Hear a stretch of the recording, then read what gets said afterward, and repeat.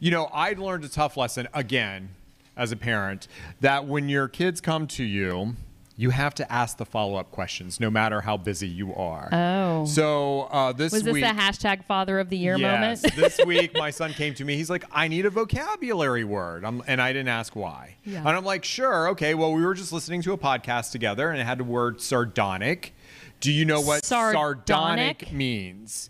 And it, No. bitterly sarcastic. So I thought, you know, it was just we just heard it. It was a good word for him to learn. Yeah. So he starts writing it down.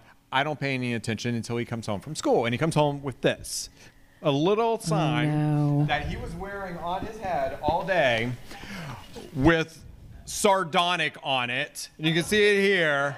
And apparently it was some type of a uh, parade at school. Okay. So he paraded around school with bitterly sarcastic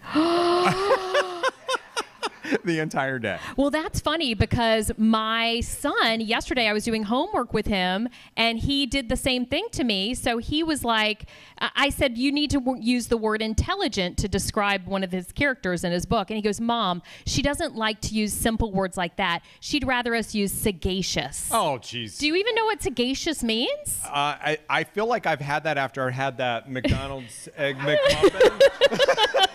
That I some think of our audience brought- after that. bought this morning. Exactly.